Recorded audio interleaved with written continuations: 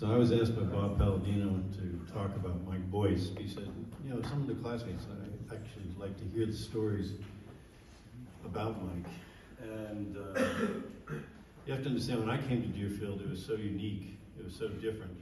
Because I came, and I mentioned this in my bio, I was coming from communist Poland, of all places, where my father was a diplomat.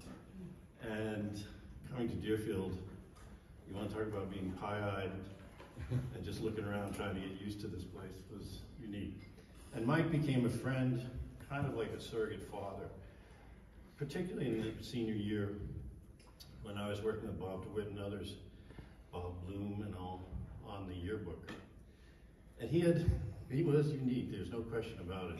I remember one time, I think Alan Cloud told me, uh, the dormitory in John Williams, that we're all having a hullabaloo and making noise, and Bois stuck his head around the corner like, what's going on down there? And then starts walking down the hallway stark naked.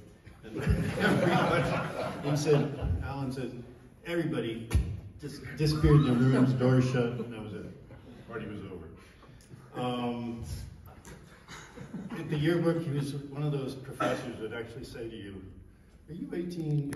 And you'd say, well, not yet. He'd be like, well, let's have a drink, you know, and if you happen to be working late at night in that yearbook, he would invite you in.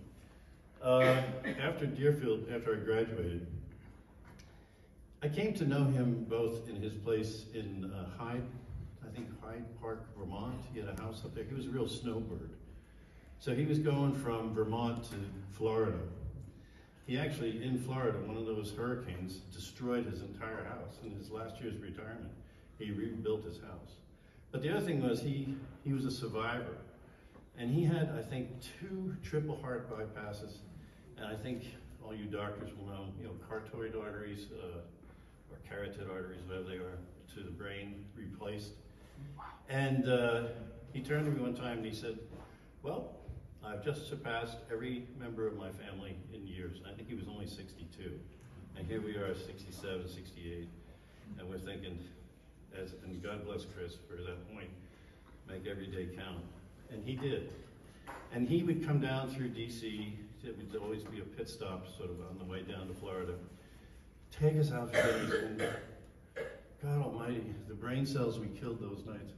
Um, just drink, you know. He, I mean, he would sleep like I, I had a group house in college, and he would sleep on the couch.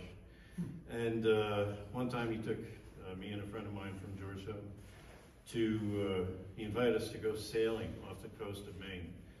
Well, this was the 70s. We're no longer at Deerfield. We're now, you know, casual college students. So we would bring some pot up there. And at five o'clock when the is he'd go, boys, it's five o'clock, cocktail hour.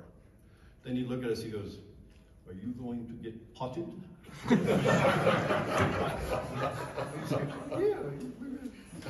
do that. We'll take a too, you know. And uh, he came to I mean, I got to know him just more and more because he was sort of like that father figure to me in a way my own father being, I think in Deer, the four years I was at Deerfield, we moved four separate times, my family. The first year we were in Poznan, Poland. Second year, Monterey, California, where he was studying at the Defense Language Institute, studying Russian. Third year, Moscow. And fourth year, Leningrad, then St. Petersburg.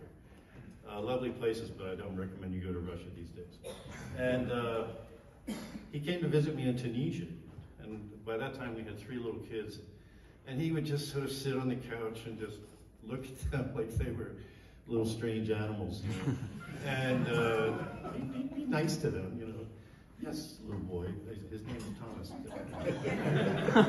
and uh, in the very end, in Florida, he basically he chose his time to go because he was under a dialysis. And I would come down and visit. Him. By that time, he was pretty, he was no longer traveling.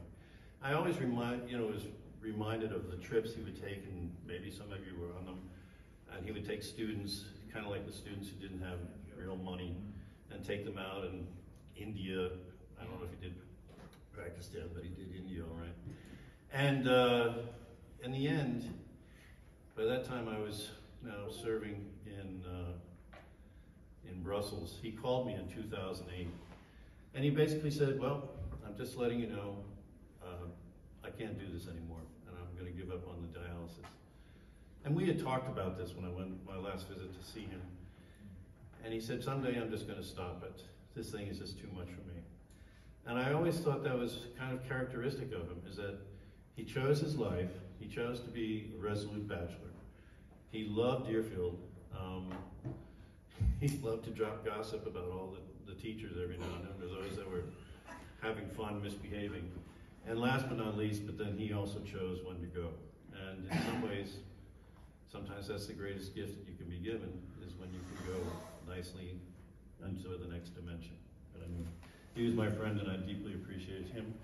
And I deeply appreciate all of you, in all honesty. If you ever come through Washington, D.C., we can uh, bore you with diplomat stories and all that stuff.